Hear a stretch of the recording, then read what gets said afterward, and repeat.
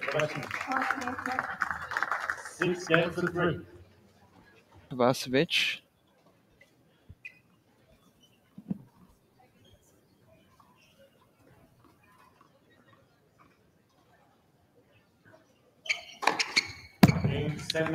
And in Kovacevic fashion, he ends it with an ace.